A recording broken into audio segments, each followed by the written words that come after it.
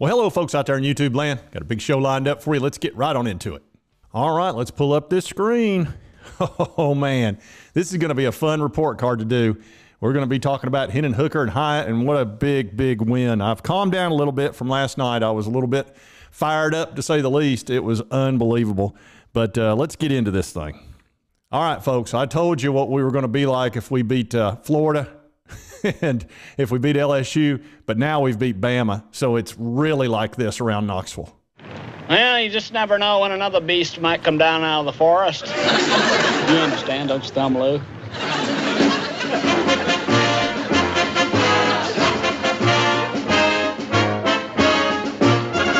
Absolutely. You never know when another beast is going to come down to that forest. what a game. What a uh, most amazing game I believe I've ever seen. It reminds me a lot of that Auburn uh, kickoff return thing where they tried to kick the three points. It's kind of like uh, that kind of ending, that storybook ending. Just amazing against Alabama. Funny that it's against Alabama both times. And that's what happens when you're number one most the last for like the last 10 years. You know, people are going to have some storybook endings against you. And that's what happened with Alabama.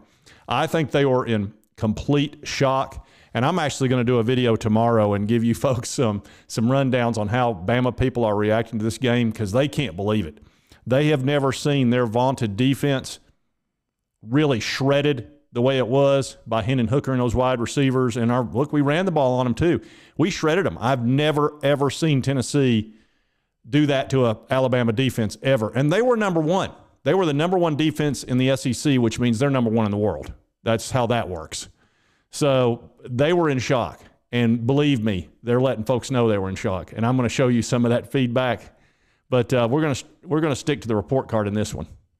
We're going to start out with the quarterbacks. Uh, well, the quarterback, uh, Tennessee's Hendon Hooker, 21 for 30, 385 yards, only five touchdowns. What a shame. And then he had that interception, which was caused by pressure.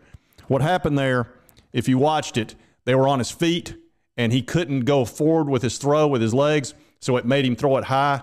And that's his first interception in like, I don't know, 10 years or ever since he came to UT. Funny how a guy that wasn't good enough for, for Virginia Tech is now the Heisman Trophy leader. Isn't that funny how that works? Funny what happens when you've got a great coach that can uh, bring talent out of people and coach them up. So if you're a recruit out there and you're wondering, man, could I ever be great?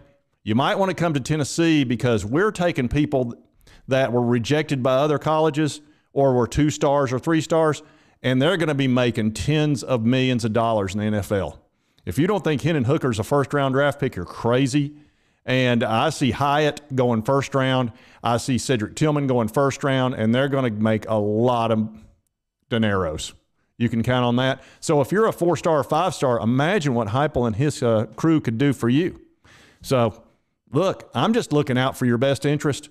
So, you know, if I had a friend that was a four or five star, I'd be going, you need to look at UT because, man, can these guys coach people up. So, again, uh, five touchdowns, one interception, just 385 yards, plus he ran the ball. So that's an easy that's an easy grade to give to Hendon Hooker, and here it is.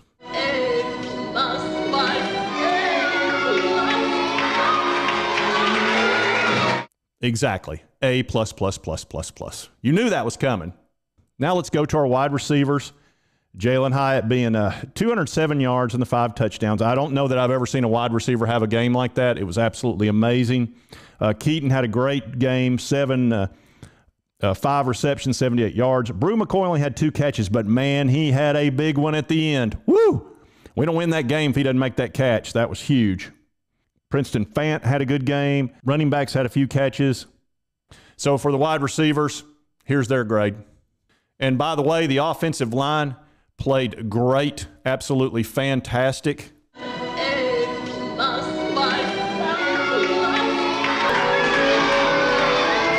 And as you can see, the running game, uh, we had 39 carries for 182 yards, which was like a 4.7 yard average. Fantastic. The offensive line played one of the best games I've ever seen any of our offensive lines play. Uh, Hendon Hooker was back there having tea okay, and having all the time he needed. Now, granted, he doesn't sit around with the ball in his hands too long, but he had plenty of time. It was not like that for Bryce Young at all. They they were struggling, but um, Hendon Hooker had all day, and he was just absolutely picking them apart. It was kind of almost sad in a way, in a very evil way. but uh, yeah, it was great to see how much time he had back there. And I just look, they sealed him off. You know, Alabama's got like the best defensive player in the world. Um, what's that guy's name? I can't even think of his name. Give me a minute. I'll have to look. Is it Will Anderson? He was a world beater, you know, and just uh, he never touched him that I saw. He didn't really affect the game, and really, he's a guy that can dominate a game. So our offensive line, they're obviously going to get an A plus plus plus plus. There's no question. I have no choice. Offensive line.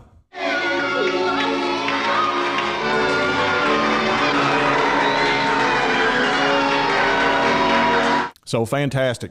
Now let's take a look at our defense. You can see here um, we only had one sack. We did have four uh, tackles for loss. Look, Bryce Young is a magician back there. They put so much pressure on him. I mean, he was running for his life the entire game. He got hit about 15 times and pretty darn hard almost every time. I mean, I don't know how they must have had his arm uh, numbed up pretty darn good because he got hit a lot for a guy that was injured he played a phenomenal game. I don't give grades to the opposition, but if I did, I'd have to give him an A plus plus plus. There's no doubt. He played one of the best games I've ever seen a quarterback have and lose. That was the shocking part. He played good enough to win, that's for sure. Against any other team, he probably would have. But you know, when you play Tennessee, you know, it's a little different world. And uh, I'm going to give the crowd. I've never given the crowd a grade before, but I'm going to give our crowd this grade.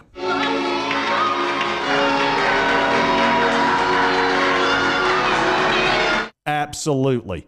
A, but look, there aren't enough pluses for the crowd. They affected them in such a huge way. They had, what, 17 penalties, the most they've ever had. They couldn't hear themselves think. They were freaked out many a time. And that's the crowd. That was an amazing game and just a fantastic ending. And that's a, you know, pretty easy to do. And as far as the defense is concerned, look, I'm going to give y'all a rock solid A. I can't give you the plus, plus, plus because they did score a lot of points. They didn't score 49, they scored 42.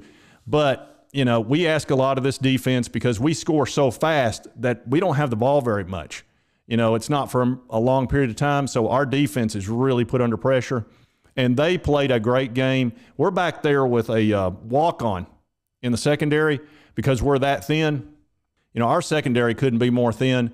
And really, the uh, defensive line stepped up in a major way. They played a great game. The defense gets a rock solid A. And uh, I have no problem giving him that. I don't care if they did score a lot of points. Look, when you're going up against the Heisman Trophy winner and he has a phenomenal game, that he was literally like a magician. He was there one minute and gone the next. And I thought we had him several times and he would just do some move. And you just, it's the same thing he did to Texas when that guy just had him dead to rights. And somehow he did this little scoop around thing and wins the game for him. Well, he did that crap to us about five times. So I have no problem uh, giving this defense plenty of praise. You know, they played a really good game against a phenomenal athlete that he's going to make everybody look like crap from time to time. But overall, real good game. All right, folks. Well, I hope you enjoyed that game as much as I did. It was absolutely fantastic, and I could not be more pleased. We're now 6 and 0, and we're number three in the country, and our recruiting's really going to take off. You have no doubt of that. I mean, any kids that uh, were there and saw that game, and I believe we even got a recruit for 2024 already from this. Yeah, Mazeo Bennett has already um, committed for 2024 as a four-star wide receiver. We're going to get a lot of commits. You know, we're the hot ticket. It's an amazing offense. It's the atmosphere is unbelievable. The crowd, everything is just incredible. The NIL money that we have. We're I, we're going to be in the top five in the recruiting by the end of this year. I have no doubt of that. I think we're going to pick up some four and five stars, and just um, we're going to be in the big leagues. We just need to make sure we get Josh Heupel locked up for about 10 years, and we're going to be just fine we, we've got a lot of good years ahead of us if we can just uh, keep everything solidified. And if you like this content, be sure to hit that like button. Lets me know to continue to cover the Vols. And if you haven't subscribed, hit that subscribe button. I've been doing this a few months. I could use some subscribers. Anyway, I hope you did like the content. We'll see you next time on Sports Talk J.